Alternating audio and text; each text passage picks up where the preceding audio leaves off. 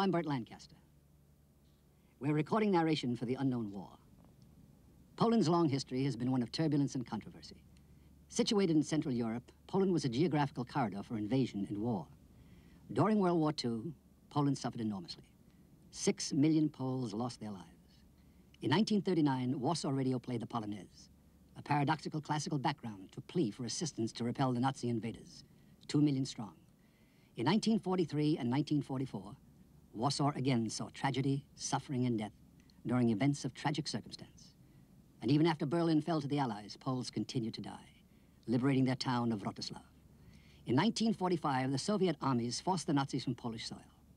Now, our story the liberation of Poland.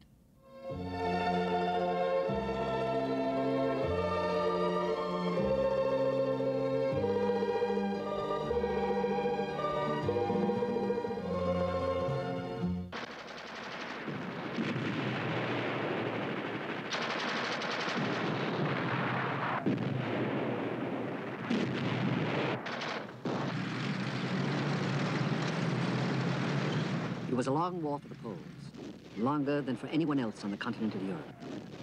Poles were still dying in Wrocław when in Berlin the fighting had ceased in May of 1945.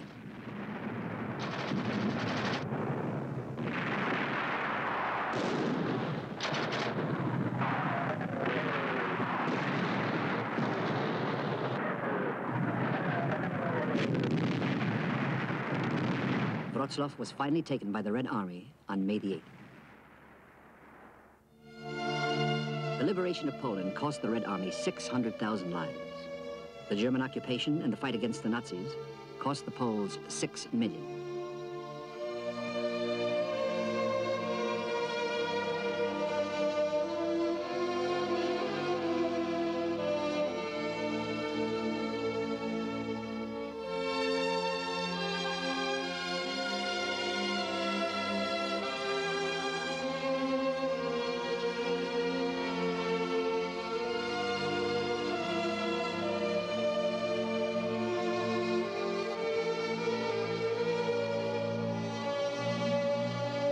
On Memorial Day in Poland, year after year, they light the candles again. For their own and for the Russian dead.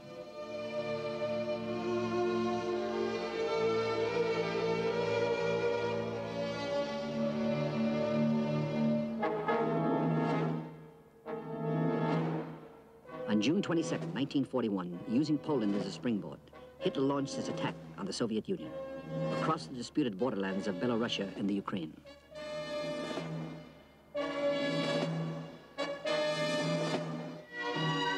Had escaped the Nazis in 1939 had formed a government in exile in London. At its head was General Władysław Sikorski.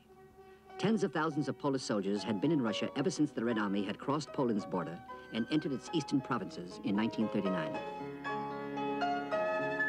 They were commanded by General Anders, whose sympathies lay with the London Poles. Relations between Anders and the Soviets were strained. The Poles had been armed and equipped by the Red Army, but because of continued delays by Anders, they had yet to enter battle on the Soviet side. Anders wanted the Polish army to fight with the Western Allies, and Churchill supported him.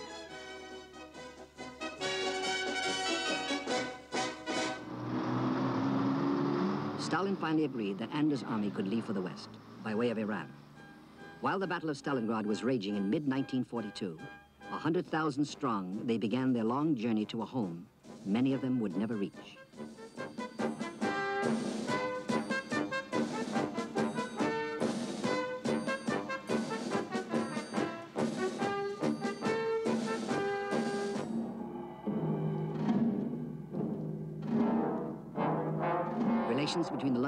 Poles and the Soviet government were bad.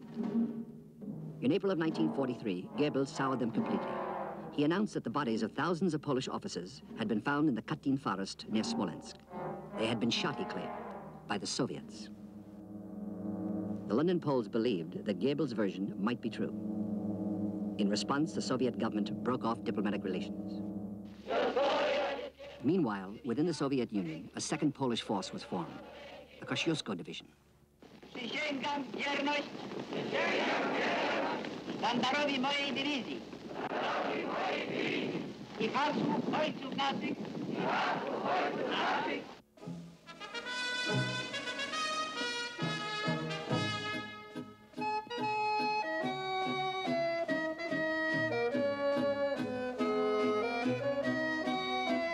It was followed by three more, armed by the Soviets.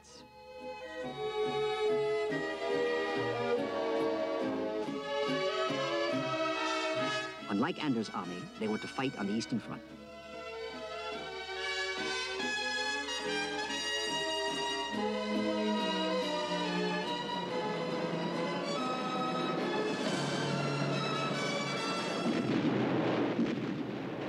Under General Berling, the Kosciuszko Division received its baptism of fire in the late summer of 1943 at the village of Lenino on the road to Smolensk.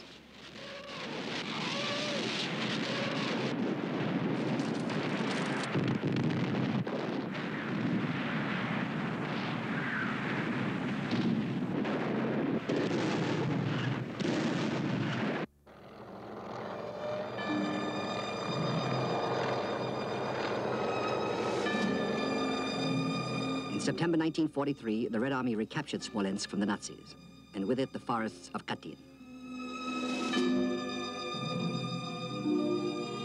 In January 1944, a Soviet committee assembled at Katyn to investigate the Polish tragedy, the massacre of 16,000 Polish officers.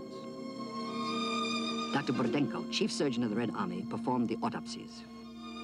His colleagues included the Metropolitan, Archbishop Nicholas of Moscow, and the author, Alexei Tolstoy.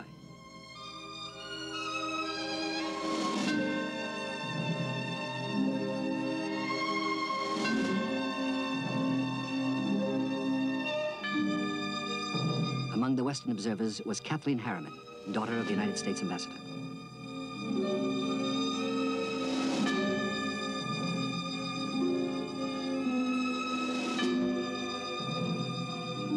Letters were produced to refute the Nazis' claim that the Soviets had executed the Poles. They bore dates later than the time the Red Army had been forced to withdraw from Katyn at the beginning of the war.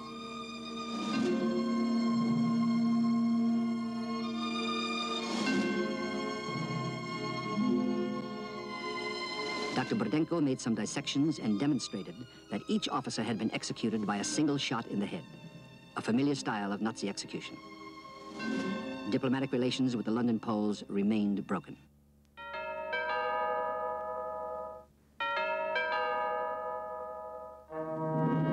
The Polish people were a proud Slavic race. To the Nazis, they were an inferior breed, Untermenschen, fit only for slavery or extermination. The concentration camps in Poland were some of the very worst.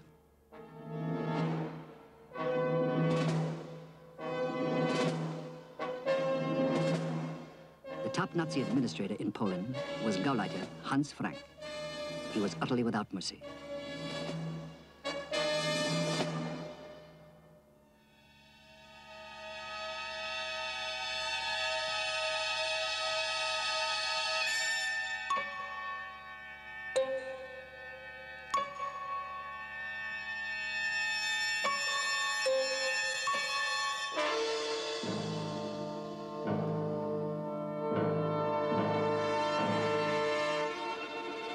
Were sent to the factories of Krupp and Daimler-Benz, or the camps. Women between 15 and 25 were assigned to the brothels of the SS and the Wehrmacht. The rest to the war plants of the Ruhr, or to the gas chambers.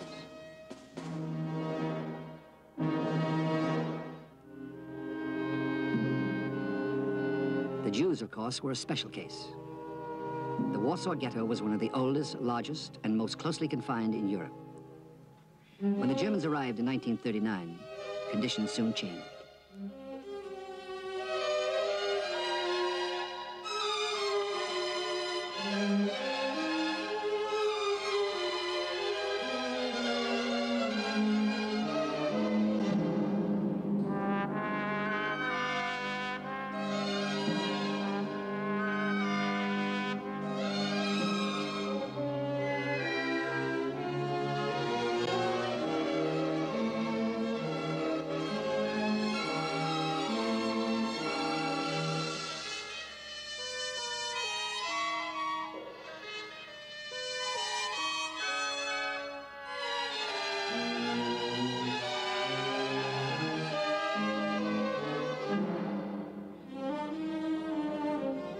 The SS came with their checklists. The Jews left with what little they could carry 300,000 of them.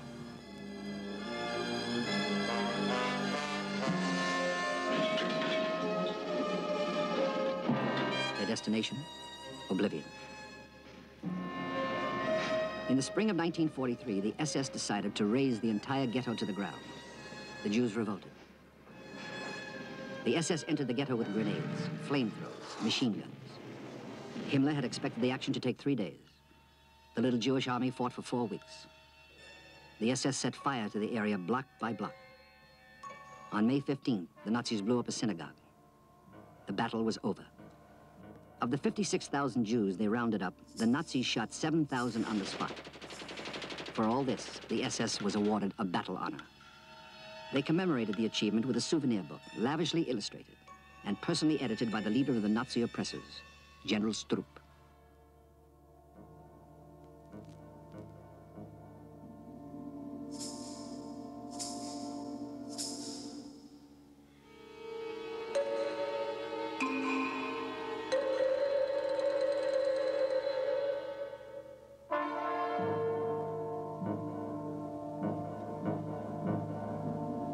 By the summer of 1944, the Red Army had completed its plans for liberating Poland.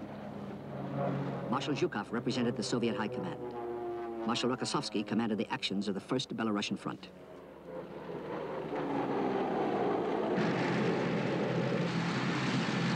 In July 1944, Rokossovsky struck at the Germans with three armies of infantry and an army of tanks. Fighting alongside the Soviets were General Berling's Polish divisions, now 100,000 strong.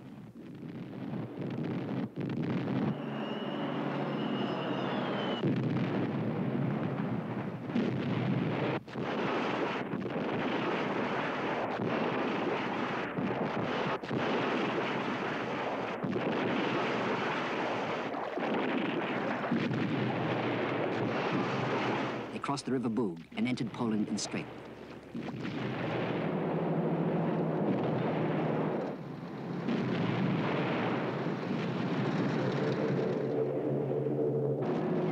Their objective was the town of Helm.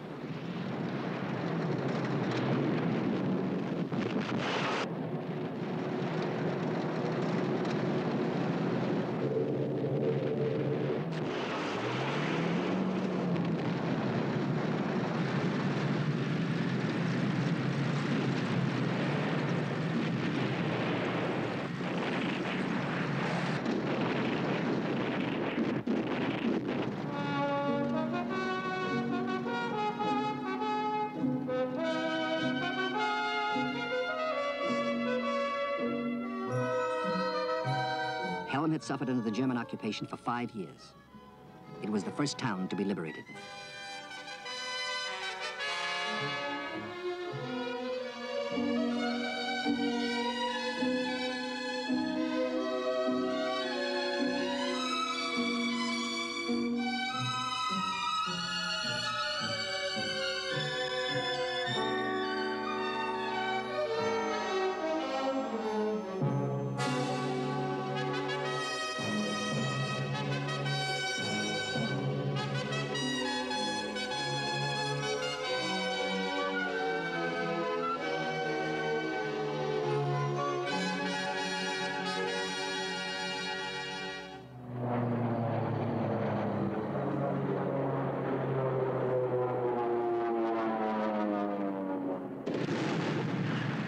Helm secured, Rokossovsky drove an armored spearhead towards Lublin, the first big Polish city on the road to Warsaw.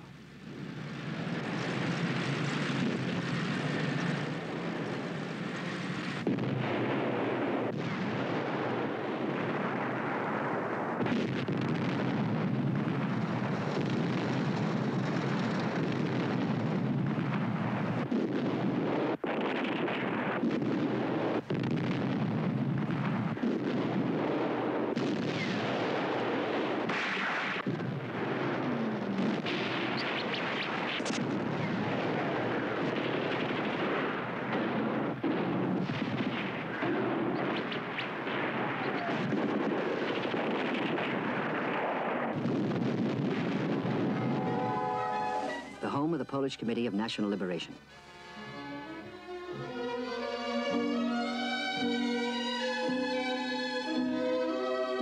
As soon as Lublin had been purged of Nazis, the Committee of Liberation set up a provisional government.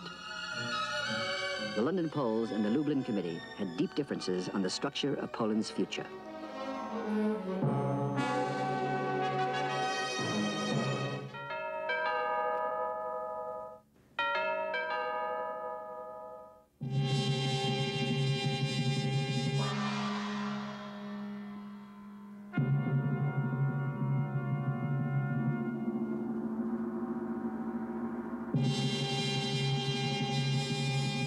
Called Majdanek. It gave the world its first picture of the true nature of Nazism. Majdanek was an extermination camp. One of the first to enter Majdanek was a Soviet cameraman, Roman Karmen, who reported the tragedy to the United Press Agency. Majdanek's inhabitants were numbered, as if they were living carcasses. The gas chambers, the ovens, the insane experiments, all exposed for the first time. Majdanek could dispose of 2,000 bodies a day.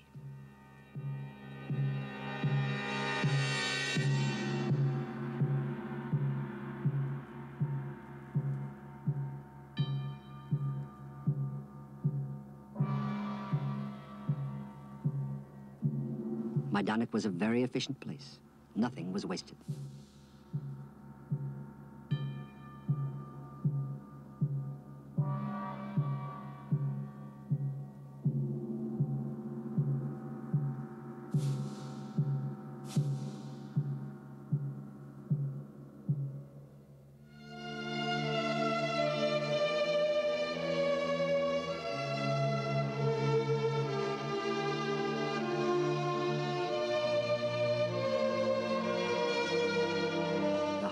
So great that it would be a long time before they could even show emotion.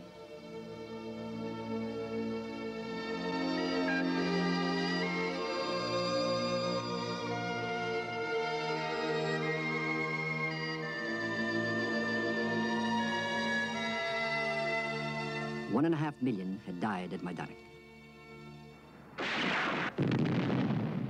The Red Army offensive surged westward.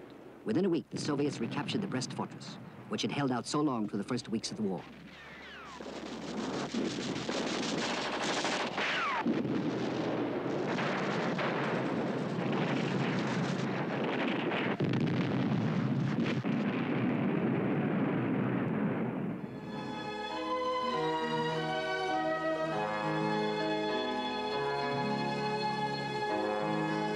Nazi resistance was fierce and growing in strength.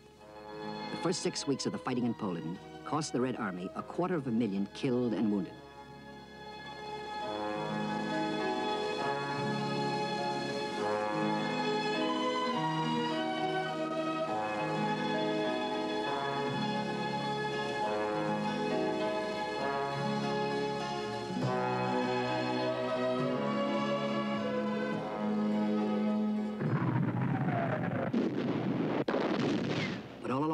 Red Army was drawing closer and closer to the Vistula, the last water barrier before Warsaw. At the end of July, advanced units of the Soviets and their Polish allies fought their way into Praha, a suburb of Warsaw.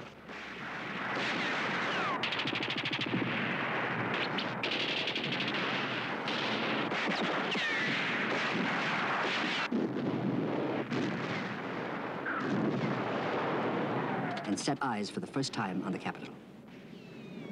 But between Praha and Warsaw lay the broad Vistula, and a German counterattack with four panzer divisions in the making. For centuries, Warsaw had been one of the most romantic cities in Europe, capital of a gallant, gifted, and tragic people.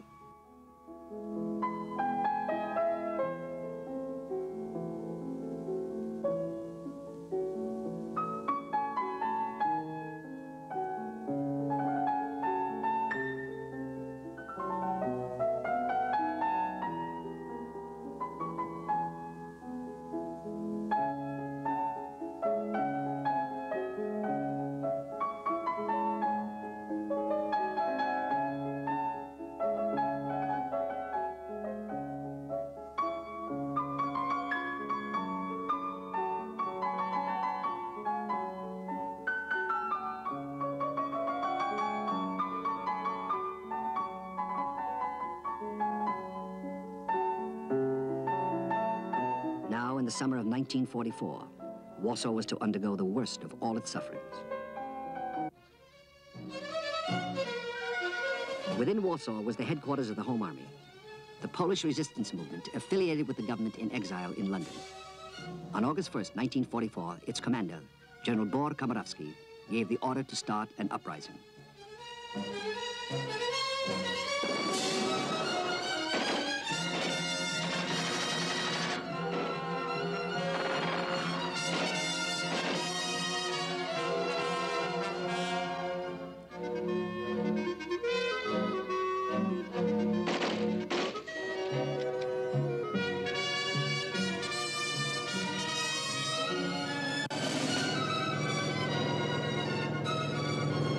Surrounded by powerful Nazi forces, the Home Army could only be supplied by airdrops from the Western Allies and the Soviets. They failed. While the Warsaw Uprising was running its doomed course, the Polish First Army struggled to cross the Vistula. They were thrown back. Some still think the Red Army could have succeeded. The Soviets claim they were unable to cross the Vistula. Their troops were exhausted.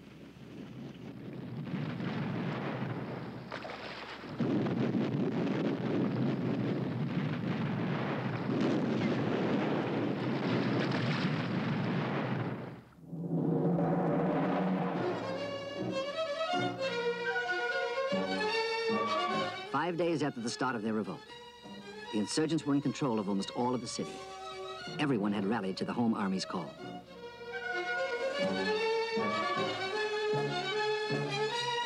They had lost heavily, but they were still confident. The government in exile was standing by to fly in from London.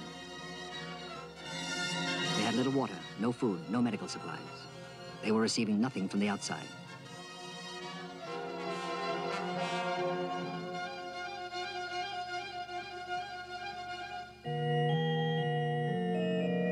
Still, they reaffirmed their faith in their future.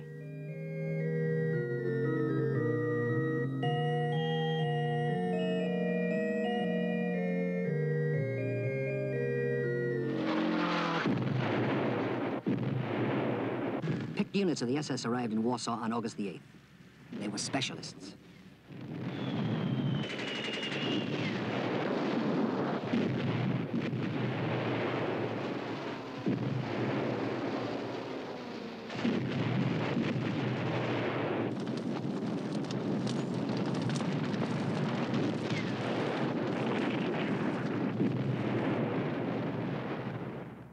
It took two months, but at last the citizens of Warsaw were overwhelmed. 300,000 Poles had died in the uprising.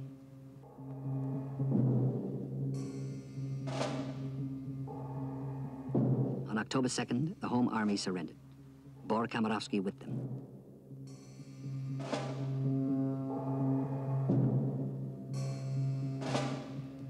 On October 11th, Hitler ordered, raze Warsaw to the ground.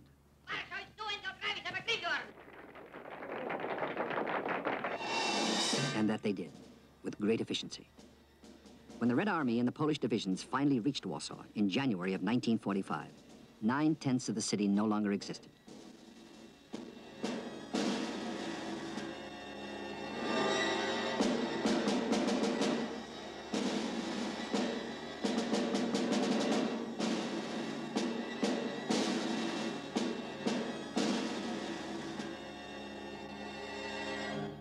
Warsaw had been the goal of Polish fighting men everywhere. For the pilots of the squadrons flying over England.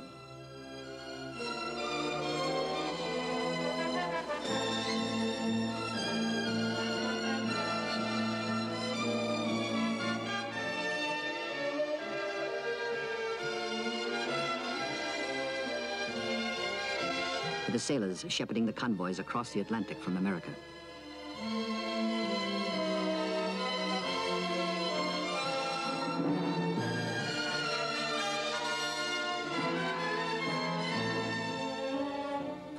Crews fighting on the second front.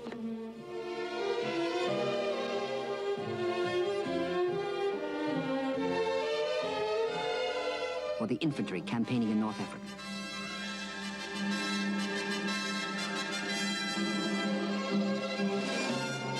And Anders men toiling over the mountains of Italy to storm the monastery at Cassino.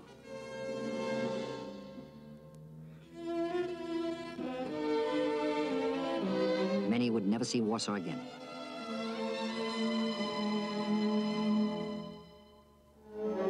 Late November, the Soviet High Command approved plans for the Red Army's winter offensive, ranging from the Vistula to the Oder, and encompassing the liberation of the rest of Poland.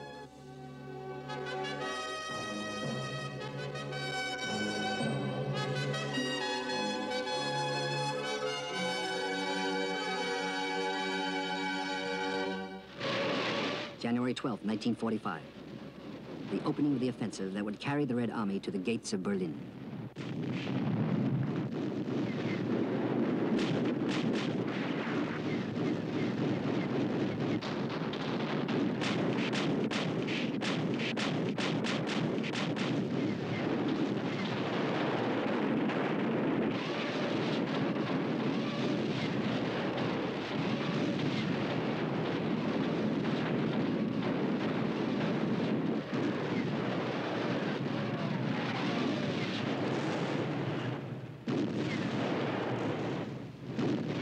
Marshal Zhukov commanded the 1st Belarusian Front, and Marshal Konev the 1st Ukrainian Front. Between them, they mustered 2 million soldiers, 32,000 guns and mortars, 6,500 tanks, and 5,000 aircraft. A clear superiority over the Nazi forces opposing them.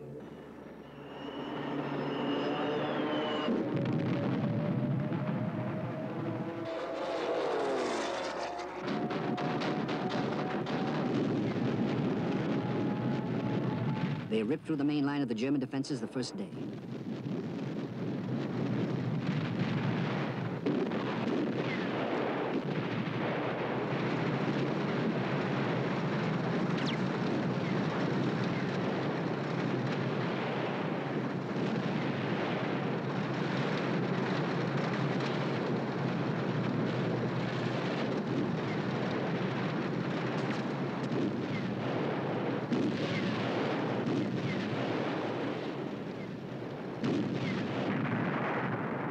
Within a week, Warsaw was encircled.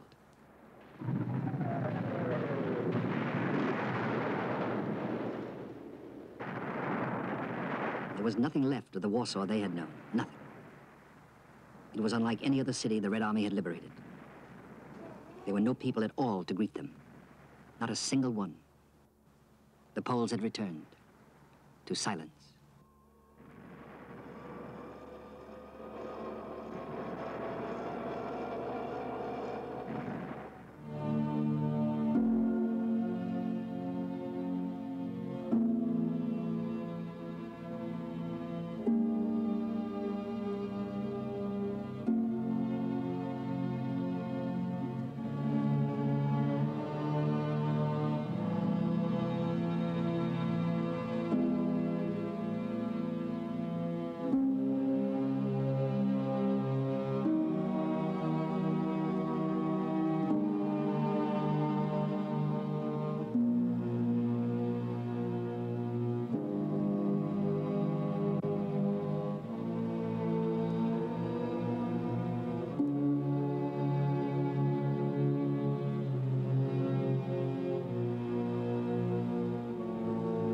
Was finally over, the Poles rebuilt their city brick by brick.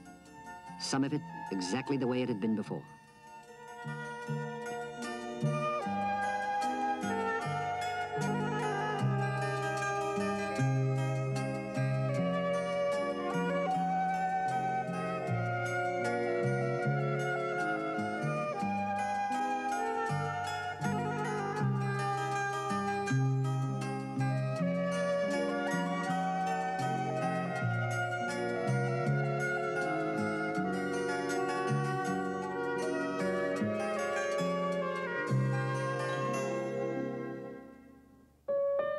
The day after the liberation, the people began to return.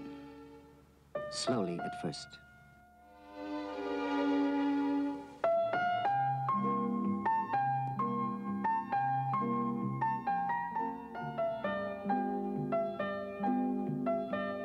And then in numbers, crossing the frozen Vistula on foot because the bridges had been destroyed.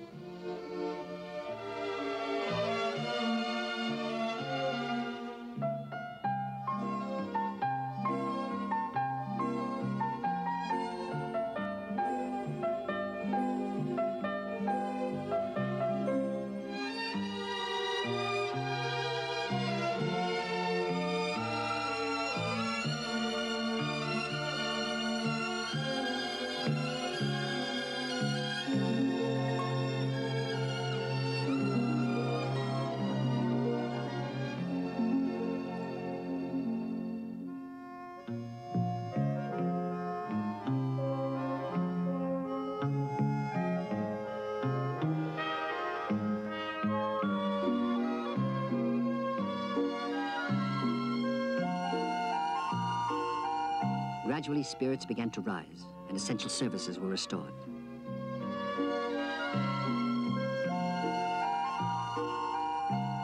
The ruins were probed for booby traps and unexploded bombs.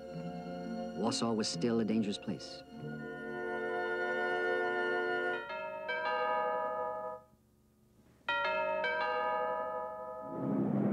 By now, Zhukov's first Belarusian front was advancing 15 miles a day, but Nazi resistance was as stubborn as ever.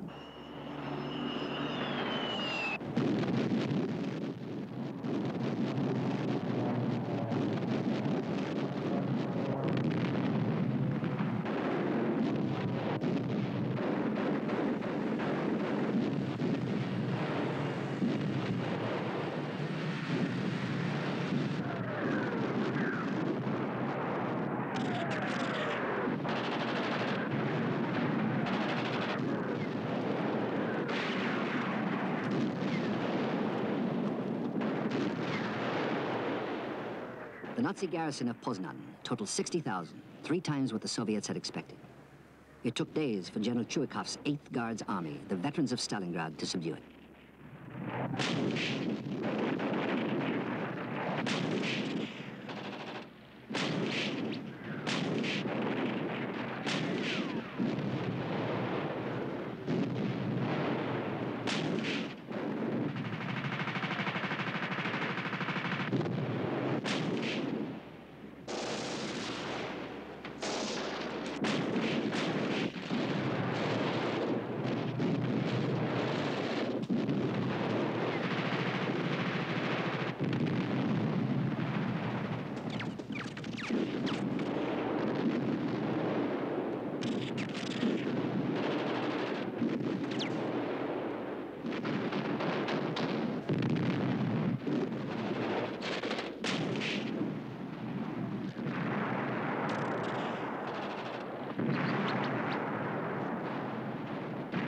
February 23rd, the Nazis raised the white flag of surrender.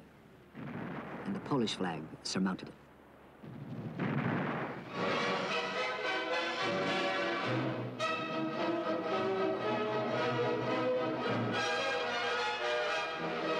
By the time Poznan was back in Polish hands, the Soviet grand offensive had rolled closer to the Oder and the heart of Germany.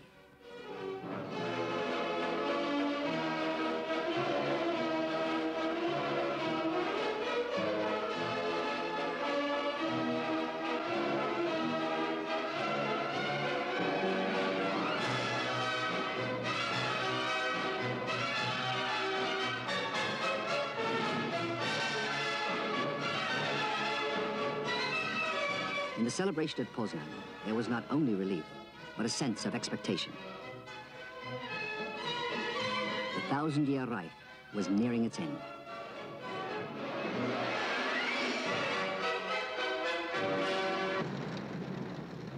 South of Zhukov's armies, the First Ukrainian Front was heading for Krakow. Marshal Konyev knew from Soviet intelligence that the Germans planned to demolish the city as they had Warsaw.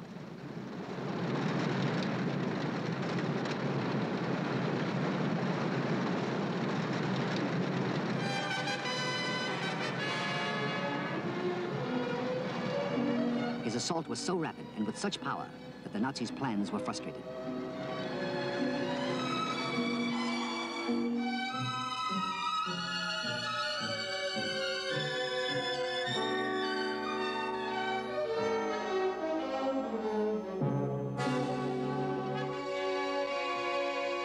Krakow was spared to remain one of the most elegant cities in Europe.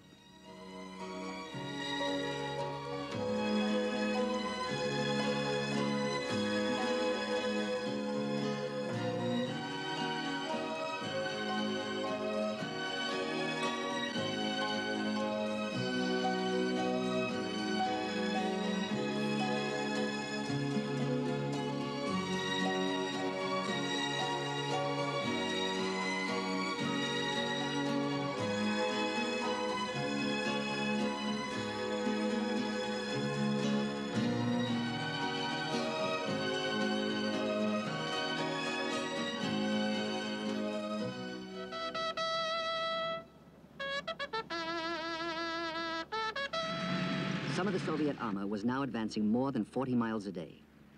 The strain was beginning to tell. The Red Army was now hundreds of miles from its bases. Fuel and ammunition were in short supply.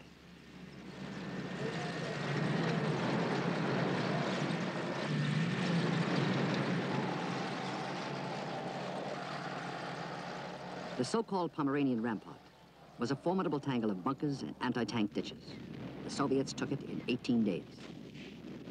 Along the entire length of the front, the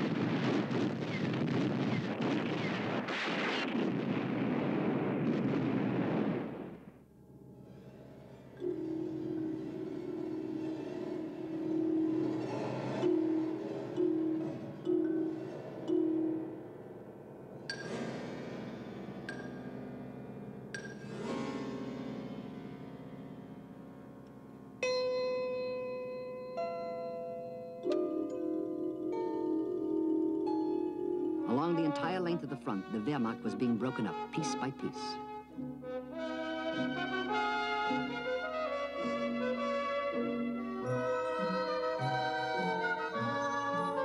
To the north, Marshal Rokossovsky's Second Belarusian Front was moving along the Baltic shore.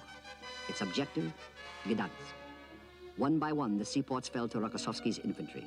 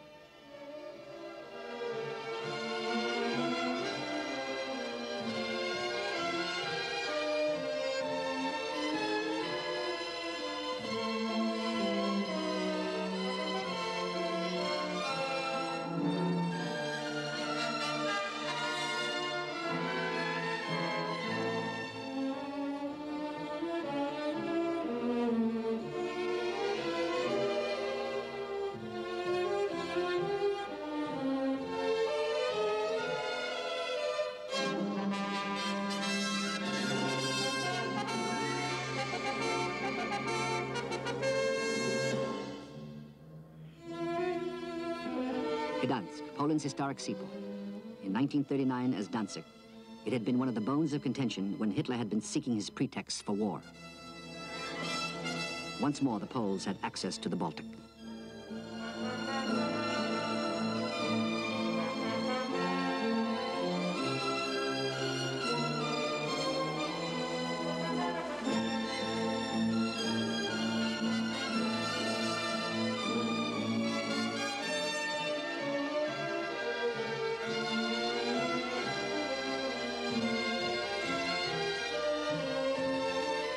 Last Nazis were gone from troubled Poland. It had taken six terrible years.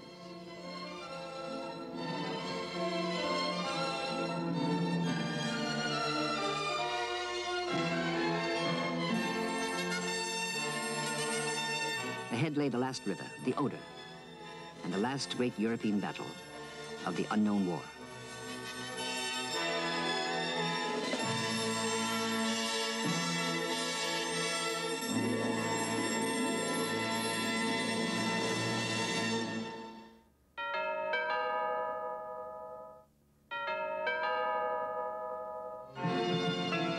Our next story, the Allies. Nearly $10 billion worth of American aid poured into the Soviet Union during the war.